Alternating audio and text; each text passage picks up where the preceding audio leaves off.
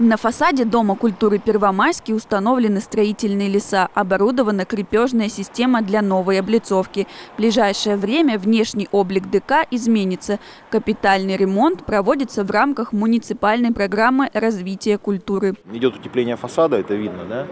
И вместе с э, теми системами э, энергосбережения, которые установлены в Доме культуры, прежде всего, конечно, это даст нам экономию по э, энергоресурсам, по теплу, соответственно, по тратам бюджета городского. Ремонтные работы не ограничиваются только фасадом. На место старого редкого забора установили новое высокое ограждение.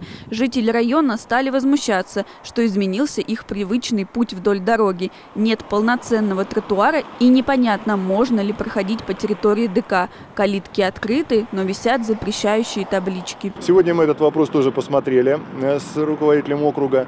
Э, начнем проектирование и, конечно, тротуар выполним. Но я еще раз подчеркиваю, что люди у нас не остались без э, пешеходной связи и не нужно идти по дороге, можно пройти вот здесь по хорошо организованному пути. Заказные позиции все на объекте, керамогранит весь на объекте, окна заказная позиция приходит завтра в полном объеме.